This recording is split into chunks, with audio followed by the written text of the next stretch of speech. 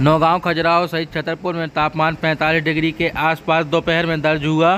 तापमान में लगातार बढ़ोतरी के कारण लोगों का जीवन अस्त व्यस्त है। बुंदेलखंड इलाके के नौगांव खजुराहो सहित छतरपुर में इन दिनों भीषण गर्मी पड़ रही हालात ये है कि लोग घरों से नहीं निकल रहे हैं। मजबूरी में ही लोग घर से निकल रहे हैं। आग की तरह लपटे लग रही हैं। मौसम विभाग के अधिकारियों से बात की गई तो उन्होंने बताया कि वर्तमान में कोई पश्चिमी विक्षोभ सक्रिय नहीं है, साथ ही मानसूनी हवाओं की गतिविधियाँ बिल्कुल शून्य है, जिसमें तापमान दिन प्रतिदिन लगातार बढ़ रहा है, जिससे लोगों का घर से निकलना दुश्वार हो गया है।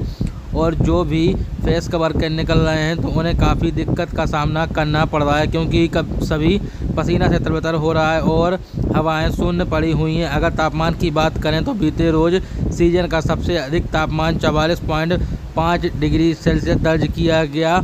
अगर आज की बात करें तो अभी फ़िलहाल 45 डिग्री के आसपास तापमान बना हुआ है। स्थानीय लोगों ने बताया कि छतरपुर में भीषण गर्मी पड़ रही और जब वह ज़रूरी काम होता है तभी घर से बाहर निकलना है और अपने सिर को गमछा और आँखों पर चश्मा लगाकर घर से बाहर निकलते हैं। अन्यथा घर पर ही रहकर आराम कर रहे हैं और ठंडे पेय पदार्थ पीकर गर्मी में वह रह रहे हैं। हम आपको बता दें कि वहीं मौसम विभाग के अधिकारी हेमंत सिन्हा ने बताया कि तापमान दिन प्रतिदिन बढ़ रहा है और तापमान आज का 45 डिग्री के आसपास है और लोग सड़क पर नहीं निकल रहे हैं। वहीं मानसून इस बार लेट है क्योंकि केरल में इस बार मानसून 8 जून को आया है, जो कि लेट आया है। मध्य प्रदेश में भी इस बार मानसून 22 से 23 जून के आसपास आने की संभावनाएँ हैं। पे बहुत ज़्यादा टेम्परेचर जा रहा है।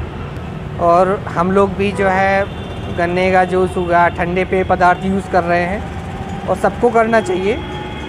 अच्छा कैसे आप बचाव कर रहे हैं? तो बाँध रहे हैं चश्मा लगा रहे हैं? इस टाइम पे चश्मा ज़रूरी है धूप में और तौलिया भी ज़रूरी है और धूप से बच के भी चलना बहुत ज़रूरी है क्योंकि लपट लग रही है गर्मी बहुत तेज़ी से है।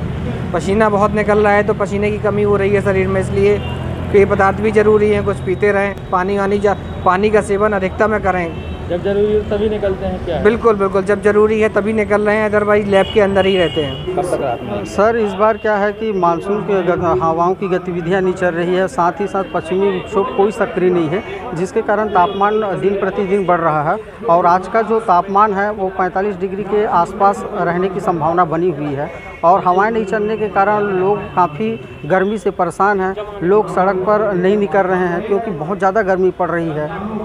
सर कब तक मानसून आएगा इस बार लेट है क्या? इस बार सर कि मानसून काफ़ी लेट हो रहा है क्योंकि केरल में इस साल जो मानसून आया है, आठ जून को आया है तो मध्य प्रदेश में इसी तरह से लेट होकर बाईस से तेईस जून को आने की संभावना बनी हुई है। सर कितना टेम्परेचर जा रहा है? पिछले वर्ष की अपेक्षा इस वर्ष क्या है? लोगों को इस वक्त ज़्यादा गर्मी लगती है। इस बार क्या है कि जो टेम्परेचर मौसमी गतिविधियाँ हवाएँ नहीं चल रही इसलिए ज़्यादा लग रहा है।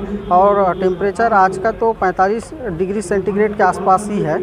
आगे कितना जाने का संभावना है? इस बार सर तापमान यदि इसी तरह से यदि टेम्परेचर बढ़ता है तो तापमान छियालीस सैंतालीस के आसपास जाने की संभावना बनी हुई है।